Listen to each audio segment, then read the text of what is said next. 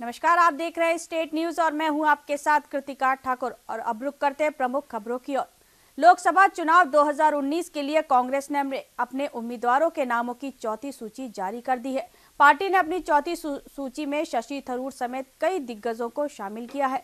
इस नई सूची के तहत पार्टी के वरिष्ठ नेता और पूर्व मंत्री शशि थरूर को तिरुवनंतपुरम से चुनाव मैदान में उतारा गया है। वहीं अरुणाचल प्रदेश के पूर्व मुख्यमंत्री नबम टुकी को अरुणाचल प्रदेश पश्चिम से टिकट दिया गया है, जहाँ कांग्रेस ने चौथी सूची में कुल 27 उम्मीदवारों के नामों की घोषणा की है। इनमें सात नाम उत्तर प्रदेश से, दो नाम अरुणाचल प्रदेश से और पाँच नाम छत्तीसगढ़ से तो वहीं बारह नाम केरल से और एक नाम अंडमान निकोबार से है। पार्टी ने यूपी के कैरान से हरेंद्र मलिक, जबकि बिजनौर से इंदिरा भाटी और मेरठ से ओम प्रकाश शर्मा को टिकट दिया है।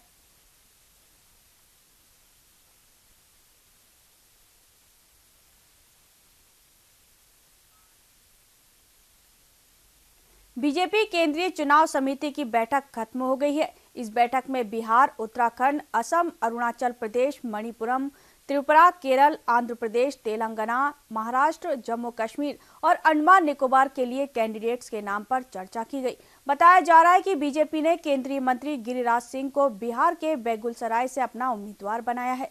वहीं बिहार के बीजेपी प्रदेश अध्यक्ष नित्यानंद राय को उजियारपुर से टिकट दिया गया है। हालाँकि अभी तक बीजेपी ने इसकी आधिकारिक घोषणा नहीं की है।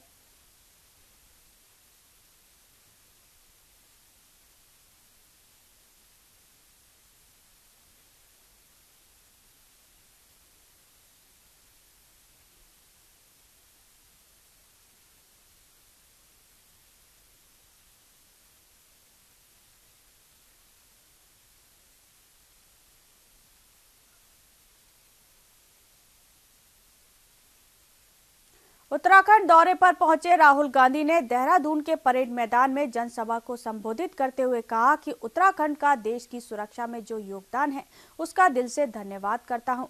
देश रक्षा के लिए यहाँ के जवान हमेशा आगे रहे हैं और उन्होंने पुलवामा हमले को लेकर भी केंद्र की बीजेपी सरकार पर निशाना साधा। उन्होंने कहा कि आतंकी हमले के बाद हम बीजेपी सरकार के साथ खड़े थे, लेकिन मोदी कॉरपोरेट की शूटिंग में बिज़ी रहे। इतना ही नहीं, इस दौरान राहुल ने मंच से चौकीदार चोर है के नारे भी लगाए। राहुल के संबोधन से पहले बीजेपी सांसद बीसी खंडूरी के बेटे मनीष खंडूरी ने कांग्रेस का दामन थामा, जिन्हें राहुल गांधी ने पार्टी की सदस्यता दिलाई। वहीं रैली की पार्टी पदाधिकारियों सहित सैकड़ों की संख्या में कांग्रेसी कार्यकर्ता पहुँचे।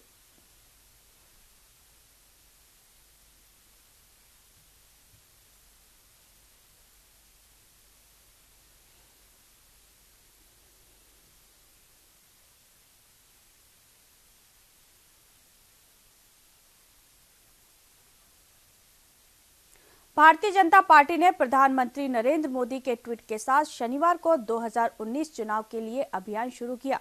इस बारे में बात करते हुए बीजेपी नेता सुब्रमण्यम स्वामी ने कहा कि जो कहता है कि चौकीदार चोर है, वह खुद जमानत पर बाहर है। व्यक्तिगत एक प्राइवेट सिटीजन के नाते मैंने केस डाली है और उनको रोज झड़प मिल रही है। सो हाईकोर्ट ने कह दिया, इतनी बड़ी चोरी हमने कभी देखा नहीं। जब उन्होंने जम उसका जो नेहरू हाउस को सरकार वापस ले ले लिया तब इन्होंने जाकर हाईकोर्ट में अपील किया। तो हाईकोर्ट ने कहा कि इतना बड़ा चोरी हमने कभी देखा नहीं। आ, तो ये तो सिद्ध हो गए हैं। और सिर्फ़ वायदा मांग के यानी अजर्नमेंट मांग के इतनी देरी हो गई है ये तो निश्चित जेल जाने वाले लोग हैं। अब प्रधानमंत्री के बारे एक भी केस नहीं है। इनके राज में एक भी केस नहीं लगा सके। इतना कहा कि वो दंगा में ये है, वो है, कुछ नहीं। तो प्रधानमंत्री को तो कुछ जवाब देने की ज़रूरत ही नहीं है। सारा देश समझता है कि ये नेहरू परिवार शुरू से जवाहरलाल नेहरू के टाइम से चोरी की है।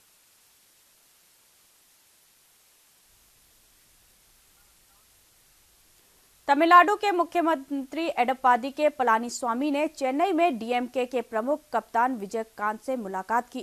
दोनों नेता लोकसभा चुनाव से पहले एक दूसरे से मिले थे, जहाँ कैप्टन विजय कांत की डीएमडीके और एआईएडीएमके के नेतृत्व वाले राष्ट्रीय जनतांत्रिक गठबंधन एनडीए के बीच गठबंधन की घोषणा 10 मार्च को की गई थी।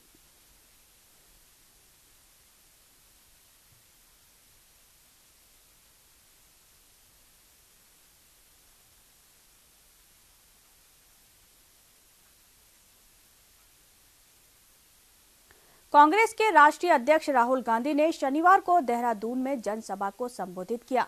इस जनसभा को लेकर कांग्रेसियों में खासा उत्साह देखा गया, जहाँ कांग्रेसियों के उत्साह और रैली के मायनों को लेकर न्यूज़ इंडिया ने कांग्रेस के वरिष्ठ पदाधिकारियों से की खास बातचीत। राहुल गांधी की परिवर्तन रैली को लेकर उत्तराखंड कांग्रेस के तमाम पदाधिकारी उत्साहित नज़र आ रहे हैं। आप इस मंच पर देख सकते हैं तमाम जो कांग्रेस पार्टी के उत्तराखंड के वरिष्ठ पदाधिकारी, सभी लोग मौजूद हैं और लगातार सभी मान रहे हैं कि राहुल गांधी की ये रैली जो है ऐतिहासिक है। कुछ वरिष्ठ पदाधिकारियों से हम बात करेंगे। दीप पोरा जी है। दीप पोरा जी, कितनी ऐतिहासिक है रैली? एक नया आयाम आज प्रीतम सिंह जी के नेतृत्व में उत्तराखंड की राजधानी देहरादून में आप देख रहे हैं, चारों तरफ़ से लोग आ रहे हैं, जो कुरीतियाँ इस मोदी सरकार की यहाँ पे हैं, वो आज राहुल गांधी जी आके बताएँगे कि मोदी ने उत्तराखंड को क्या दिया और कांग्रेस ने उत्तराखंड को क्या दिया। हम इस भ्रष्टाचारी सरकार को यहाँ उखाड़ फेंकने के लिए आज सब इकट्ठा हुए हैं और आप देखिएगा कि 23 मई को राहुल गांधी जी जब प्रधानमंत्री बनेंगे तो हमारा भी इस्तकबाल होगा और इस देश का भी इस्तकबाल होगा। लोकसभा चुनाव का बिगुल बच चुका है और पहली रैली जो है उत्तराखंड में यानी कि देहरादून में राहुल गांधी की हो रही है। वरिष्ठ नेता कांग्रेस पार्टी के राजेंद्र शाह इस समय हमारे साथ न्यूज़ इंडिया पर मौजूद है। शाह जी कितनी ऐतिहासिक, कितना मोटिवेट कांग्रेस कर पाएगी जनता को इस रैली के ज़रिए? देखिए, राहुल जी आपके सामने हैं और ग्राउंड आपके सामने जिस तरह से जैम पैक ग्राउंड में बाहर लोग हज़ारों की तादाद में खड़े हुए हैं लाइन अप किया हुआ क्योंकि सिक्योरिटी पर्पज से बहुत लोग, हज़ारों लोग बाहर भी खड़े हुए हैं। तमाम लोग लाइन में जैसे ही वो आएँगे, यहाँ पर जगह खड़े होने की कहीं भी दूर दूर तक नहीं मिलेगी। ऐसरे हॉल से लेकर आपका इसी रोड तक लोगों का हुजूम रहेगा और राहुल गांधी ऐतिहासिक रैली को संबोधित करने के बाद कुछ ही देर में वो संबोधन उनका शुरू होने वाला है। वो बताएँगे कि किस तरह से जो राफेल के पेपर गायब है और ये कहा गया तो राहुल गांधी कह रहे थे कि चौकीदार ही चोर है, ये साबित हो गया है कि चौकीदार ही चोर है। अब ज़ाहिर तौर पर लोकसभा चुनाव का बिगुल बच चुका है। आने वाले समय में क्या कुछ कांग्रेस पार्टी अपनी रैलियों के ज़रिए, अपने स्टार प्रचारकों के ज़रिए कितनी हवा प्रदेश में बना पाती है, ये आने वाला वक्त बताएगा। लेकिन एक तस्वीर हम आपको दिखाना चाहते हैं, मेरे दाहिनी और आप देख सकते हैं कि भारी संख्या में जो भीड़ अपेक्षित की थी कांग्रेस ने, उसी के अनुरूप भीड़ लगातार यहाँ पर बढ़ती जा रही है। और ये कहा भी जा सकता है कि एक अच्छी खासी भीड़ कुछ ही क्षणों में यहाँ पर इकट्ठा हो जाएगा। तो ज़ाहिर तौर पर राहुल गांधी किस तरह से जनता को मोटिवेट करते हैं, किस तरह से अपनी बात रख पाते हैं किस तरह से जनता के मन में पैड बना पाते हैं, ये तो आने वाला वक्त बताएगा। अपने क्या पसंद कैंटोला के साथ में रोहित विक्रम सिंह न्यूज़ इंडिया देहरादून। राजस्थान में Ayurvedic health care company Dabur India limited की ओर से चुनाव को लेकर जन जागरूकता अभियान चलाया जा रहा है, जिसके तहत श्री खाटू श्याम जी के फाल्गुन मेले में आने वाले श्रद्धालुओं को ईवीएम और वीवीपैट के बारे में जागरूक किया जा रहा है।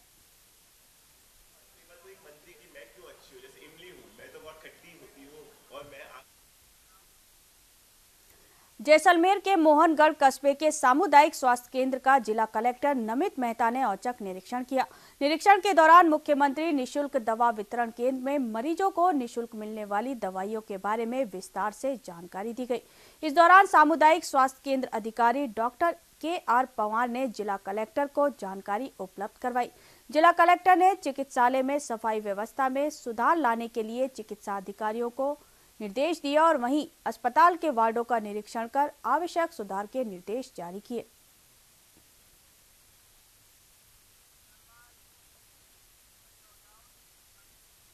राजस्थान के सुमेरपुर में पुलिस ने बजरी माफियाओं के खिलाफ कार्रवाई को अंजाम दिया, जहाँ पुलिस ने एक डंपर और ट्रैक्टर चालक को जब्त किया और इसके साथ ही पुलिस ने डंपर मालिक और चालक के खिलाफ मामला दर्ज कर लिया है। आपको बता दें कि पुलिस को सूचना मिली थी कि जवाई नदी में काफ़ी दिनों से अवैध बजरी खनन हो रहा है।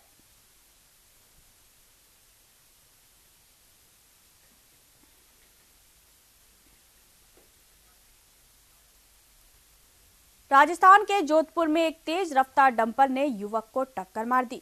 हादसे में युवक की मौके पर ही मौत हो गई, जहाँ घटना बरानोड़ा थाने के सलवास गाँव की है। वहीं घटना के बाद ग्रामीणों ने प्रदर्शन किया और फ़िलहाल पुलिस ने मामला दर्ज कर जाँच शुरू कर दी है।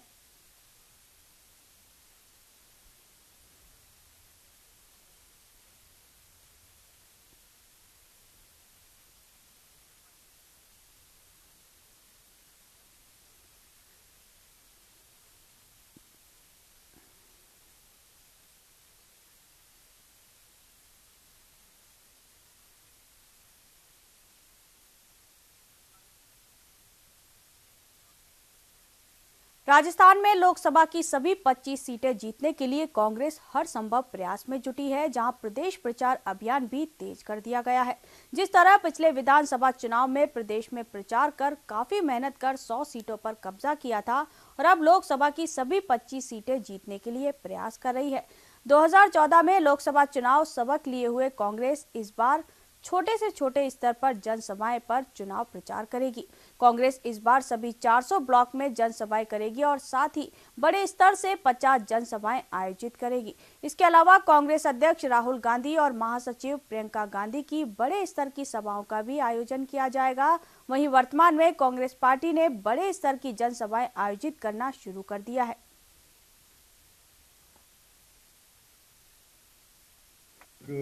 हमारे अखिल भारतीय महामंत्री अविनाश पांडे जी, हमारे मुख्यमंत्री अशोक जी, हमारे अध्यक्ष सचिन पायलट जी। तीनों मिलकर चुनावी सभाएँ कर रहे हैं। और अभी तक उन्होंने आठ सभाएँ कर चुके हैं वो और इसी प्रकार से पूरे प्रदेश के अंदर लोकसभा वाइज एक एक लोकसभा के अंदर दो दो सभाएँ करने का कार्यक्रम उन्होंने बनाया है। लगभग पचास सभाएँ इस प्रकार से इन लोगों का कार्यक्रम है कि ये पचास सभाएँ जो है, ये हमारे बड़े नेता लखनऊ में आरएलडी नेता जयंत चौधरी, बसपा सुप्रीमो मायावती से उनके नौ मॉल एवेन्यू आवास पर मिले। इस दौरान दोनों नेताओं में पश्चिम यूपी की कई सीटों पर स्थानीय समीकरण को लेकर चर्चा की। दरअसल मायावती रविवार को बसपा उम्मीदवारों की लिस्ट जारी करेंगी, लेकिन लिस्ट जारी करने से पहले मायावती उम्मीदवारों के पक्ष में स्थानीय समीकरण सुनिश्चित करेंगी। आपको बता दें कि सपा और बसपा और आरएलडी में गठबंधन होने के बाद दोनों नेताओं की यह पहली बैठक थी। हम लोग तालमेल बना चुके हैं जो जमीनी है। हाँ। हमारे कार्यकर्ता एक दूसरे के साथ मिलकर काम कर रहे हैं और मुझे पूरा विश्वास है कि 80 के 80 सीटों पर कार्यकर्ता मिलकर चलेंगे। अच्छा ये बताइए क्या आप लोगों में ये भी डिस्कस हुआ कि किस तरह से फर्दर रैली के प्लान होंगे क्या होंगे कौन कौन रहेगा? मैंने फिर मैं फिर बताता हूँ आगामी चुनावों पर देश के ज्वलंत मुद्दों पे हमने चर्चा की है। उसका एक पहलू कार्यक्रम होता है उसका एक पहलू चुनावी तैयारियाँ आज अखिलेश जी से नहीं आज अब मैं दिल्ली रवाना हो रहा हूँ। नकली दवाओं को लेकर औषधि नियंत्रक विभाग ने एक बड़ी कार्रवाई को अंजाम दिया है जिसमें नकली मेनेक्स्ट्रा वैक्सीन की कैप पकड़ी है। विभाग की टीम ने जोधपुर और जयपुर में की गई कार्रवाई को अंजाम दिया है जिसमें मौके से 19 नकली वैक्सीन को सीज कर प्रदेश में इन पर रोक लगा दी है। वैक्सीन की कीमत करीब 4,950 बताई जा रही है।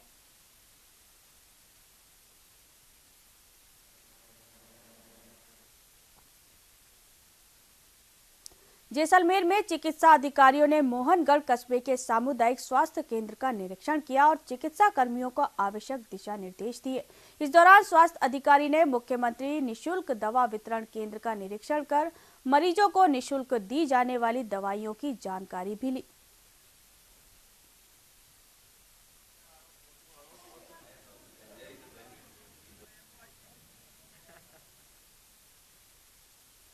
राजस्थान के भरतपुर में दो दिवसीय विराट कुश्ती दंगल का आयोजन किया गया, जिसमें अलग अलग राज्यों के पहलवानों ने हिस्सा लिया। वहीं आपको बता दें कि कुश्ती दंगल में 128 पहलवान ज़ोर आजमाइश कर रहे थे।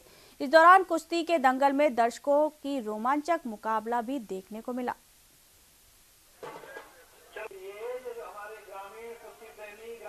भरतपुर जिला कुश्ती संघ के तत्वाधान में अड़तीसवां लोहागढ़ केसी दंगल का शुभारंभ आज हुआ। मुख्य अतिथि जिला कुश्ती संघ के अध्यक्ष सीताराम गुप्ता, कार्यक्रम की अध्यक्षता करी सीओ सिटी हवा सिंह जी ने। विशिष्ट अतिथि के रूप में हमारे उप संरक्षक BP Gupta Bharatpur electricity board के जनसंपर्क अधिकारी सुधीर प्रताप सिंह व प्रमुख समाज सेवी अनुराग गर्ग मौजूद थे। 128 पहलवानों ने इसमें भाग लिया है। राहुल गांधी ने शनिवार को उत्तराखंड में चुनावी शंखनाद के साथ भुवन चंद्र खंडूरी के बेटे को कांग्रेस में शामिल कराकर जो मास्टर लगाने का काम किया है, उसने बीजेपी में बौखलाहट पैदा कर दी है। वहीं कांग्रेस में शामिल हुए मनीष खंडूरी ने अपने एक मिनट के भाषण में यह दर्शा दिया कि इस चुनाव में कांग्रेस के लिए मनीष का आना बीजेपी के लिए चुनावी सरदर्द बनने वाला है। बहरहाल, उत्तराखंड की परिवर्तन रैली में राहुल का यह मास्टर स्ट्रोक चुनाव में कितना कारगर साबित होता है ये आगामी लोकसभा चुनाव में साबित होगा। मेरा ये मानना है कि आपके नेतृत्व में कांग्रेस पार्टी देश को, इस प्रांत को और पूरे प्रजातंत्र को सशक्त करेगी यहाँ पे आने से पहले मैंने अपने पिताजी से तीन सवाल पूछे। क्या आपका आशीर्वाद मेरी तरफ़ है? और उन्होंने कहा, है। उन्होंने कहा कि क्या तुम सच्चाई की बात पे चल सकते हो? मैंने कहा हाँ। उन्होंने मुझसे ये पूछा कि क्या तुम क्या खंडूरी जी ने गलती की? उन्होंने सच्चाई बोली, उन्होंने कहा, देखिए, हिंदुस्तान की रक्षा का मामला है। उत्तराखंड हर हर क्षण अपने राजस्थान पुलिस महानिदेशक कपिल गर्ग सालासर धाम पहुँचे, जहाँ डीजीपी का हनुमान सेवा समिति के अध्यक्ष यशोदा नंदन ने स्वागत किया। इस दौरान उन्होंने बालाजी के दर्शन कर पूजा अर्चना की और प्रदेश में खुशहाली की कामना की। साथ ही प्रेस वार्ता के दौरान कहा कि चुनाव को लेकर पुलिस प्रशासन को अलर्ट रहने के निर्देश दिए ताकि चुनाव में किसी भी प्रकार की अवांछनीय घटना घटित न हो और चुनाव शांतिपूर्ण तरीके से संपन्न हो।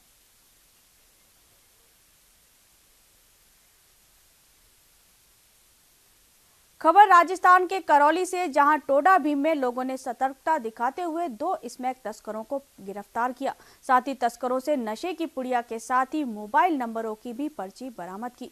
सूचना के बाद मौके पर पहुँची पुलिस ने दोनों स्मैक तस्करों को गिरफ़्तार किया और फ़िलहाल तस्करों से पूछताछ जारी है।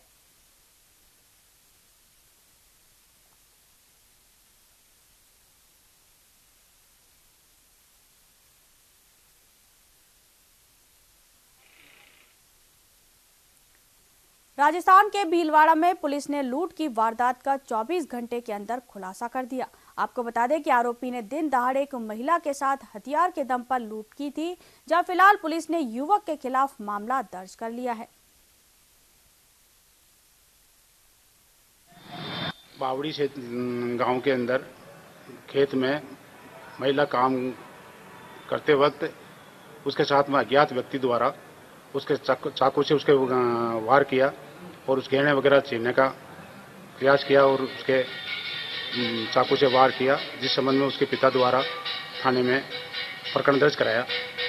उक्त मामले को गंभीरता से लेते हुए मुलजिम की तलाश कर 24 घंटे के अंदर उसका मुलजिम को जल महल के सामने राजस्थान हॉट पर चल रहे रसोई 2019 स्वाद राजस्थान का उत्सव में जयपुर राइट्स को लुभाने के लिए कई आयोजन किए जा रहे हैं। यहाँ चल रही कुकरी वर्कशॉप में व्यंजन बनाने के शौकीन महिलाओं को होली के अवसर पर बनाए जाने वाले खाद्य पदार्थों को बनाने की विधियाँ बताई जा रही है। देखिए एक खास रिपोर्ट। रसोई उत्सव में मसालों की महक, लोग ले रहे व्यंजनों का जायका। जल महल के सामने राजस्थान हाट पर चल रहे रसोई 2019 स्वाद राजस्थान का उत्सव में जयपुराइट्स को लुभाने के लिए कई आयोजन किए जा रहे हैं। यहाँ चल रही कुकरी वर्कशॉप में व्यंजन बनाने की शौकीन महिलाओं को होली के अवसर पर बनाए जाने वाले खाद्य पदार्थों को बनाने की विधियाँ बताई जा रही हैं। रसोई उत्सव में आकर शहर के लोग अपनी पसंद के अनुरूप मसालों की खरीदारी कर रहे हैं तो अपने स्वाद और जायके के अनुरूप व्यंजनों का लुत्फ उठा रहे हैं। अनूठे मिठाई मसालों की खरीदारी के साथ ही जयपुर जयपुराइट्स सैफ समीर गुप्ता के टॉक शो और यहाँ पर आयोजित व्यंजन प्रतियोगिताओं में हिस्सा ले रहे हैं। समीर गुप्ता रसोई उत्सव में उत्सव में आने वालों को कुकरी के टिप्स दे रहे हैं। वे यहाँ महिलाओं और युवाओं, अवसर विशेष पर बनाए जाने वाले व्यंजनों को बनाना सिखा रहे हैं। एक चीज़ जो लोग भूल से गए हैं, वो एक तो जब होली आती है तो ऋतु संधि काल होता है। ऋतु बदल जाती है उस समय में। तो उस समय में, उस समय के लोगों ने, जो खान पान के बहुत बड़े विशेषज्ञ थे, उन्होंने प्रयास करा कि ऋतु के साथ में हमारे शरीर का सामंजस्य बना रहे। तो कांकरी मिर्ची बनाते थे। काली मिर्च और आटे को भून करके और उसमें सब तरह के फल और सब तरह के ड्राई फ्रूट वगैरह डाल करके और उसको वो सुबह के समय जिन दिनों ये होली का पर्व रहता है या बासोड़े का पर्व आता है, तब तक खाते थे और उससे उनके शरीर को ऊर्जा मिलती रहती थी। और उसी तरह से बेसन की बर्फ़ी, बेसन का मूंगथाल जो बनता था, वो बनाते थे, जो कि बेसन की मुठिए बना के उसको सेका जाता था। फिर उसको चूरा करके चाशनी उसके अंदर एक मात्रा में डाली जाती थी और साथ में कुछ उसमें ड्राई फ्रूट भी डाल दिए जाते थे। और वो जो बेसन है, इस समय में चूँकि गर्मी का आगमन होने लगता है, शरीर की हमारी जो प्यास है, जो पानी की तृप्ति है, वो बराबर बनी रहे, इसलिए इस बेसन की उसका प्रयोग करा गया। आजकल लोग इसको नहीं सोचते, बाज़ार से खूब सारी चीज़ें ले आते हैं, बनाते हैं और खा लेते हैं, पर मैं तो फिर रिकमेंड करूँगा कि बेसन की चीज़ें बनाएँ, बेसन की मुठिया की चीज़ें बनाएँ, काकरी मिर्ची बनाएँ, गुजिया ज़रूर बनाएँ, पर नारियल का प्रयोग करें, जिससे कि नारियल आपके जो शरीर के अंदर आपके जो फैट्स हैं, नेचुरल फैट्स हैं, उनको संयमित और समान रूप से रख सकें इस उत्सव में सीनियर सिटीजन्स की वैरायटी ऑफ़ खीर में बुज़ुर्ग महिलाओं ने पूरे उत्साह के साथ हिस्सा लिया इसके अलावा रसोई उत्सव में आने वाली महिलाओं को अलग अलग तरह की रेसिपी भी जानने को मिल रही हैं। व्यंजन प्रतियोगिताओं में वरिष्ठ महिलाओं की खिचड़ी और वेराइटीज ऑफ़ खीर प्रतियोगिता आयोजित की गई। रसोई उत्सव में महिलाओं को मक्की की झाझरिया, खेलरी की सब्ज़ी, पुरानी चीज़ों को फ्यूजन के साथ बनाने, गुजिया का बिना तले समोसा और तुरंत बनाने वाला प्याज सहित बदलते मौसम के अनुरूप खाद्य पदार्थों को बनाना सिखाया जा रहा है। क्षेत्रों में बटा हुआ है, जैसा कि आपने फरमाया, मेवात भी है, मारवाड़ भी है और बहुत सारे हमारे उदयपुर की जगह भी हैं, जैसलमेर बीकानेर है सब जगह के अलग खान पान है और वास्तव में चीज़ें लुप्त होती चली जा रही हैं। तो अगर हम उन सारे ट्रेडिशंस को वापस ला सकें, जो कि मेरा भी प्रयास है और मैं उसको साझा प्रयास के रूप में महिलाओं तक लेकर के जाता हूँ कि भाई, आप पुरानी चीज़ों को बनाइए, चाहे वो हमारी थाल की बर्फ़ी थी, चाहे हमारे बेसन की बर्फ़ी, जिसको लोग मून थाल या मोइन थाल के नाम से भी जानते हैं, और गुजिया सभी घरों के अंदर बनती थी और उसके अंदर बहुत सारे नारियल का प्रयोग होता था, मावे का कम प्रयोग होता था। आजकल सभी लोग बाज़ार के मावे पर डिपेंड करते हैं और अपन देख रहे हैं कितना मिलावट चीज़ों के अंदर आ गई है। वो सब चीज़ें भूल गए हैं, मेरा प्रयास है और मेरा संदेश है लोगों के लिए कि वो चीज़ें वापस बनाएँ, कम मेहनत लगेगी, लेकिन आप स्वस्थ रहेंगे, अपने परिवार को स्वस्थ रखेंगे और खुद भी स्वस्थ मौसम बदल रहा है, सर्दियाँ जा रही हैं और गर्मी ने आहट देनी शुरू कर दी है। हमारा खान पान भी मौसम के अनुसार बदल रहा है। इस लिहाज से रसोई उत्सव में आयोजित वर्कशॉप में व्यंजन बनाने के लिए महिलाओं की रुचि, इस बात का संकेत है कि अपने रसोई के प्रति कितनी जागरूक हैं। Bureau reports, news India.